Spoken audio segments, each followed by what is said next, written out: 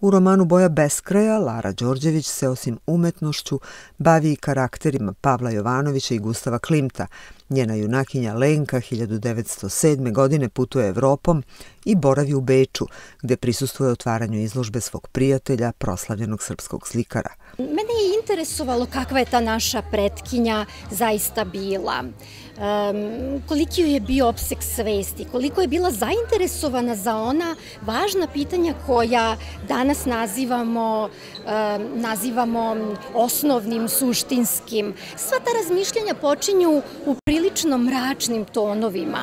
I pitanje je uvek koliko je to realno, da li je takva žena zaista postojala. Meni je bilo veoma lako da gradim uh, taj lik i verujem da prosto, prosto prosto nekako isplivao, znate, kao da ga nisam, e, kao da je malo moja svest imala e, prilike da tu nešto uradi. E, bilo je lako ovaj, i, i meni se čini da mora biti da, da je to u stvari zbog toga što je upravo Lenka ono što je klica svake od nas.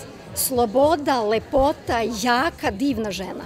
U knjižari Delfi u Studenskom kulturnom centru 3. oktobra predstavljena je knjiga Boja beskraja. Osim autorke, o knjizi su govorili urednik Nenad Župac i pisac Ivan Jovanović.